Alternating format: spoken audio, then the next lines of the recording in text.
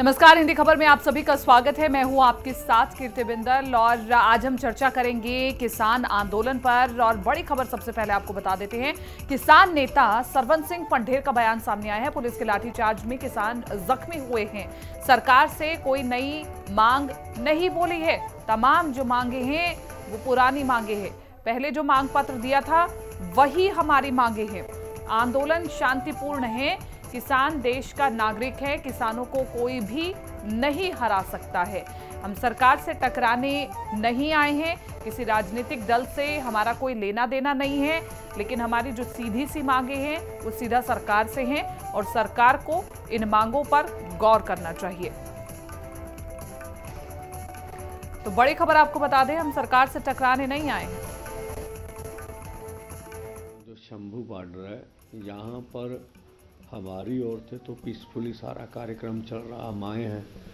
हम सरकार से मांग करते हैं कि हमें दिल्ली जाने दीजिए पीसफुली ढंग से अपना प्रदर्शन करने दीजिए। अगर अपने मांग पर तो कोई बातचीत नहीं हो रही अभी।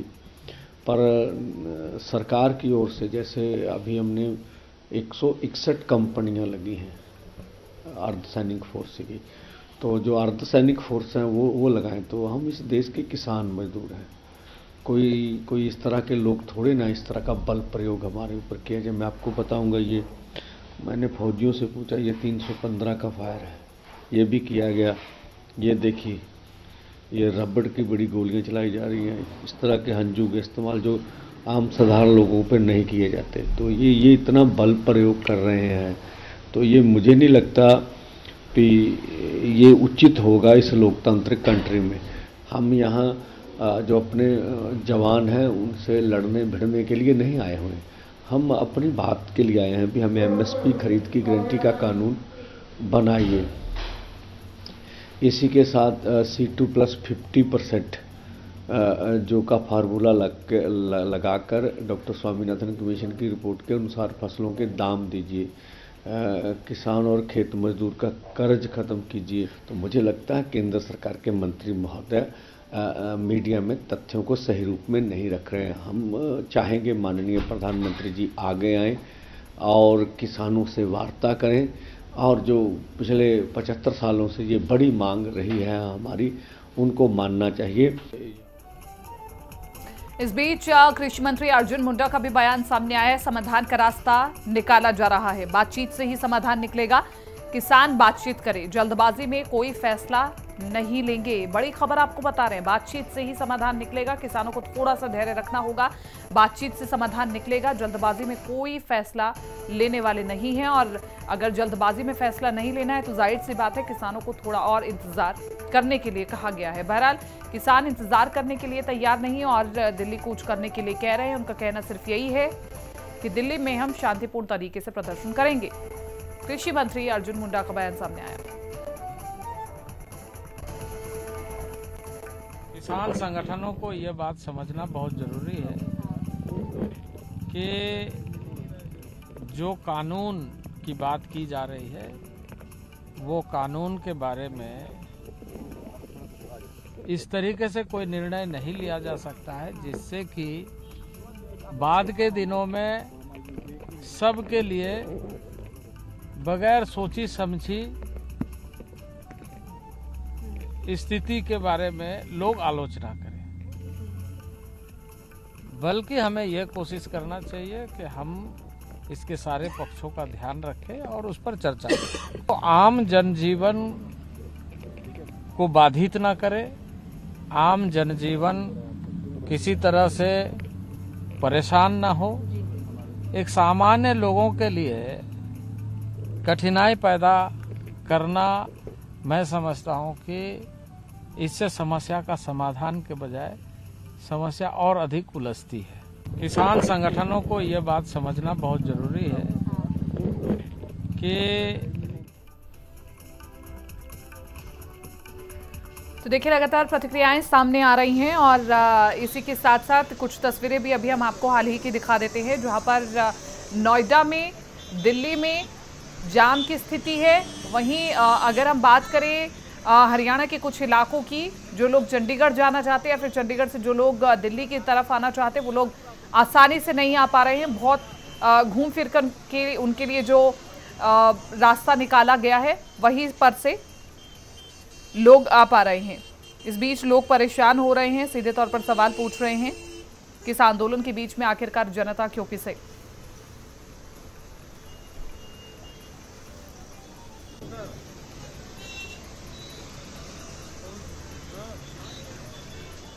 किसानों का प्रदर्शन लगातार जारी है और जनता कहीं ना कहीं इस बीच पिस रही है। हरियाणा में धारा 144 लागू है और इसी के साथ साथ दिल्ली में भी धारा 144 लागू है। वहीं आपको बता दें कि किसानों की ओर से कहा गया है कि हम शांतिपूर्ण तरीके से प्रदर्शन करना चाहते हैं, लेकिन पुलिस की ओर से हम पर फायरिंग की जा रही है, रबड़ की गोलियाँ दागी जा रही हैं।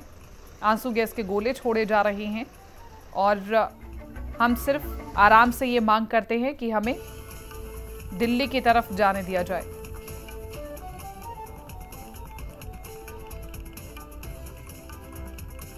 कुछ तस्वीरें आ रही हैं, वो हम आपको पहले दिखा देते हैं। प्रदर्शनकारियों की जो कोशिश है, वो ये है कि वो आगे की ओर बढ़े और इसी के साथ साथ दिल्ली कूच करें। लेकिन इस बीच आपको बता दें कि लगातार कोशिश ये की जा रही है कि किसानों को आगे बढ़ने न दिया जाए। पंजाब और हरियाणा के किसान अपनी मांगों को लेकर के दिल्ली कूच की तैयारी कर रहे हैं और किसानों की दिल्ली चलो मार्च को पंजाब और हरियाणा के शंभू बॉर्डर पर रोक लिया गया है। किसानों को रोकने और उन्हें तीतर बीतर करने के लिए मंगलवार को पुलिस की ओर से आँसू गैस के गोले दागे गए। सिंगू बॉर्डर, टिकरी बॉर्डर और गाजीपुर बॉर्डर पर भारी संख्या में पुलिस बल तैनात किया गया है। इन सीमाओं पर सीमेंट और लोहे की बैरिकेटिंग भी की गई है। तो बता दें, किसानों को रोकने के लिए कटीले तार और कंटेनर भी रखे गए हैं। किसानों ने मंगलवार शाम को फिर से कहा कि वो सुबह फिर दिल्ली में घुसने की कोशिश करेंगे और वही किसानों पर पुलिस की कार्रवाई को लेकर के विपक्षी दलों ने सरकार पर निशाना साधा है। और शंभू बॉर्डर पर प्रदर्शनकारी किसानों ने बैरिकेडिंग तोड़ने के प्रयास किए और हरियाणा पुलिस के जवानों पर पथराव भी किया गया है। ऐसी वीडियोस भी निकल करके आ रही हैं। हरियाणा पुलिस के एक प्रवक्ता हैं। उन्होंने कहा कि प्रदर्शन की आड़ में उपद्रव फैलाने की अनुमति नहीं दी जाएगी। अगर किसान दिल्ली जाना चाहते हैं तो बस या ट्रेन से जाएँ या फिर पैदल जाएँ। हम ट्रैक्टरों को दिल्ली नहीं जाने देंगे।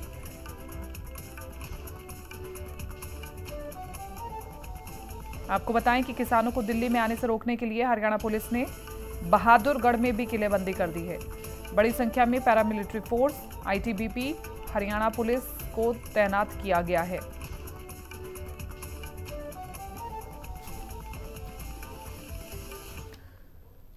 और चलिए हम कोशिश करेंगे कि हम चर्चा करें। तमाम मेहमान हमारे साथ बने हुए उन सभी का परिचय मैं करवा देती हूँ। विनोद सहरावत हमारे साथ अध्यक्ष किसान किसान मोर्चा से दिल्ली प्रदेश से बने हुए हैं। विनोद सहरावत जी, आपका बहुत बहुत स्वागत है इस चर्चा में।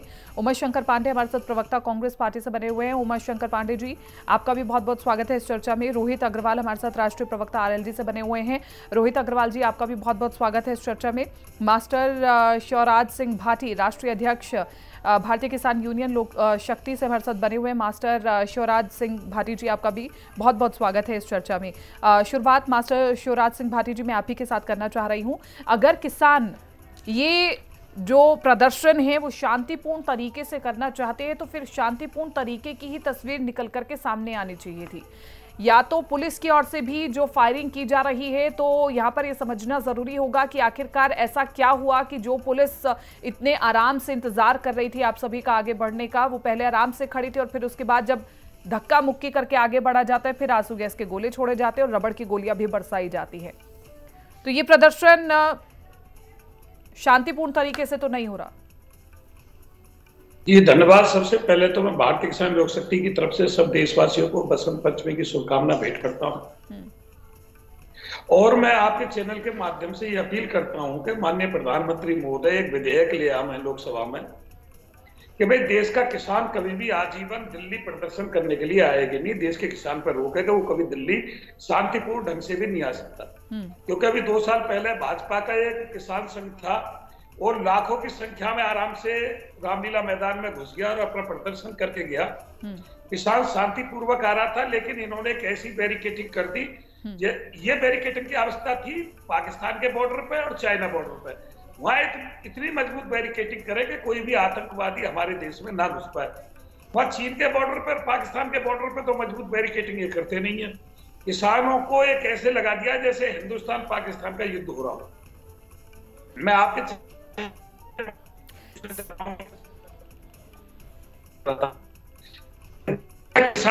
गठन करने में क्या नुकसान है? जो पशु है जो पशुओं को खा जाते हैं उनके लिए सुरक्षा दल का गठन करने में क्या दिक्कत है? मूल्य व्यापारी न्यूनतम समर्थन ना खरीदे। इसमें का क्या नुकसान है? व्यापारी कहते हैं व्यापारियों की सरकार व्यापारी कानून नहीं बनाएँगे। आप में शिक्षा नहीं, स्वास्थ्य की सरकारी स्वास्थ्य शिक्षा बिल्कुल ज़ीरो हो गया किसान परिवार के लिए। शिक्षा स्वास्थ्य महँगी हो गई। पशुओं की चिकित्सा का कोई संसाधन सरकारी नहीं है, कहीं भी पूरे हिंदुस्तान में। जो पालतू पशुओं की चिकित्सा हम नहीं करवा पाते। हम अपनी फ़सलों का उचित मूल्य नहीं ले पाते। फ़सलों की लागत इतनी बढ़ गई ठीक है है। कमोवेश मैं आपकी बात को समझ चुकी हूँ। मास्टर शिवराज सिंह जी लेकिन आपकी आवाज़ थोड़ी सी इंटरप्टेड आ रही है और हम आपको सही से सुन नहीं पा रहे मैं अपनी टेक्निकल टीम को कहूँगी से थोड़ा दुरुस्त करें लेकिन मैं आपकी बात को समझ गई। विनोद सहरावत जी का रुख करती हूँ। विनोद सहरावत जी क्या दिक्कत है? अगर किसान दिल्ली जाकर के शांतिपूर्ण तरीके से प्रदर्शन करना चाहते तो इसमें दिक्कत क्या है? क्यों आखिरकार केंद्र सरकार उन्हें रोक रही है? देखिए कोई दिक्कत नहीं और ना ही किसी को हम रोक रहे। सबसे पहले तो मैं आपके चैनल के द्वारा सभी को नमस्कार करता हूँ। लेकिन क्या है शांतिपूर्ण ढंग से जो अपनी बात रखी जाए और सरकार इनसे बातचीत भी कर रही है। मैं भी एक किसान का बेटा हूँ आज भी हम खेती करते हैं। लेकिन मैं साथ के साथ एक अन्य राजनीतिक दल जो यहाँ भी बैठे हैं और सुन भी रहे होंगे मेरे को। एक, एक पक्षपात नहीं होना चाहिए। उधर जब मैं केजरीवाल की बात करूँ केजरीवाल पंजाब में तो किसानों की बात करते हैं लेकिन दिल्ली के किसानों को कमर्शियल रेट पे ट्रैक्टर दिया जा रहा है। कमर्शियल रेट पे हमने बिजली मिल रही है।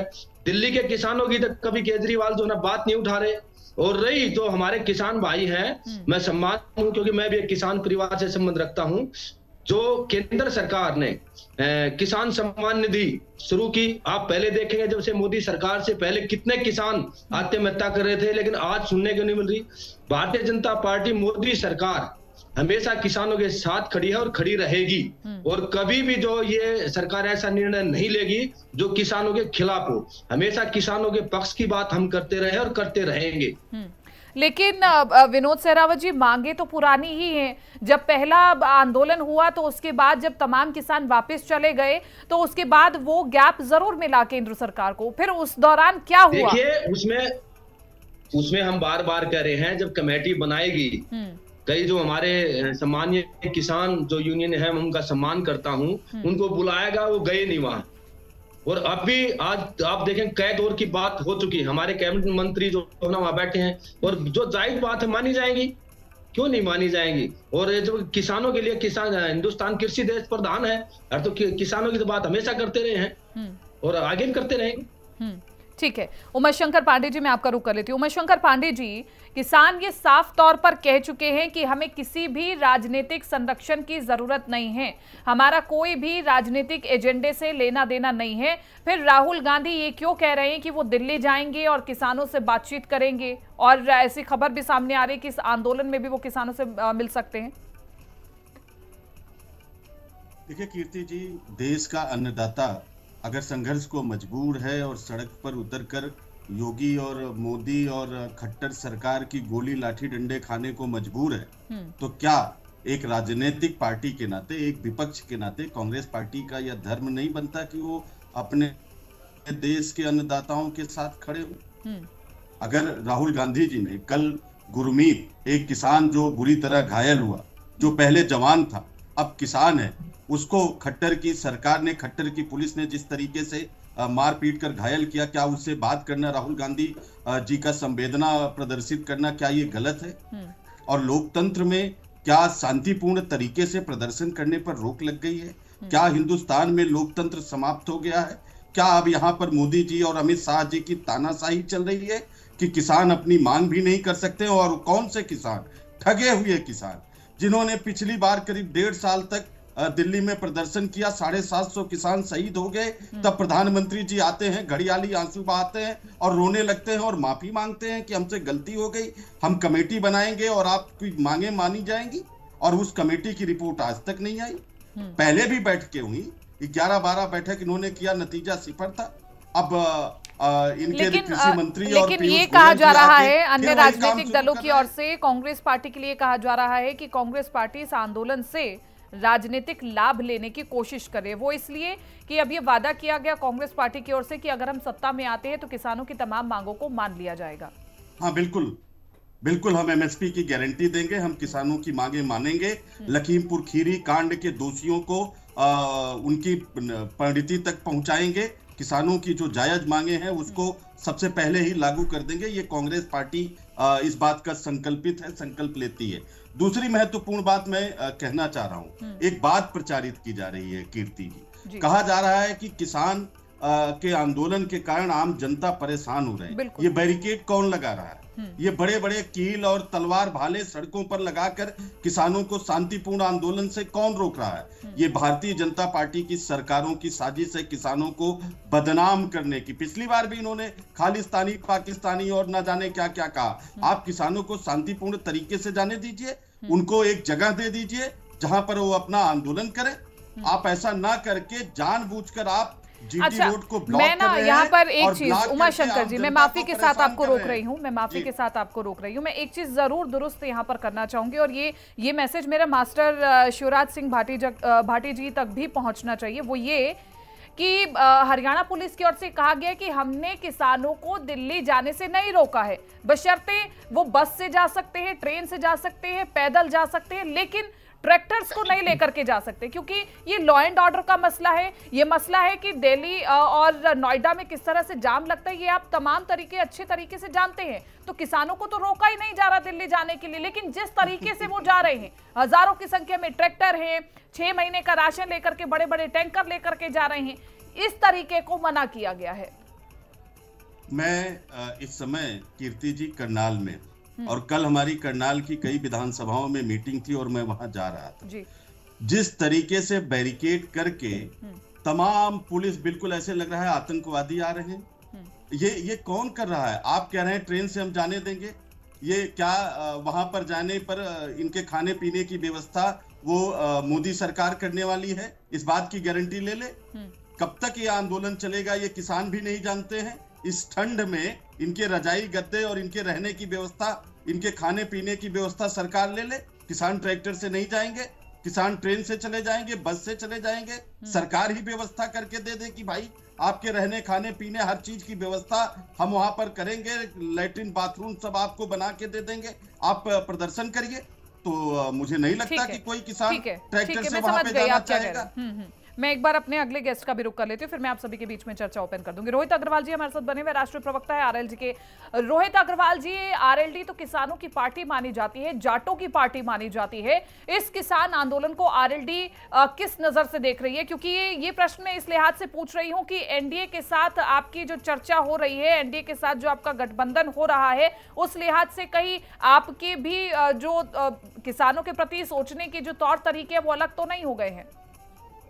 कीर्ति जी राष्ट्रीय लोकदल का स्टैंड बिल्कुल क्लियर है। ये देश किसानों का है। ये देश अगर रात में रोटी खाता है तो वो किसान की मेहनत के कारण खाता है। हम किसानों के साथ हैं। हमको बेहतर तरीके से किसानों के मुद्दे पता हैं। हमने तेरह महीने किसान आंदोलन के दौरान निरंतर इस संघर्ष किसान आंदोलन को लेकर के क्या है आरएलडी का हाँ, स्टैंड जी जी जी। मैं मैं कीर्ति जी आ रहा हूँ। राष्ट्रीय लोकदल पूरी तरीके से सरकार से कहना चाहता है कि किसानों के ऊपर किसी भी तरीके का बल प्रयोग ना किया जाए हम्म।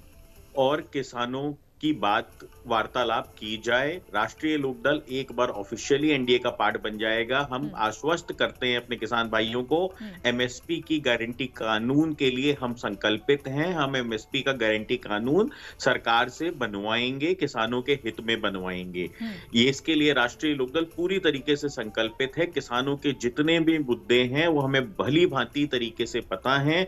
हम किसानों लेकिन जिस तरीके से किसान आगे बढ़ रहे हैं क्या आप मानते हैं कि वो तरीका ठीक है?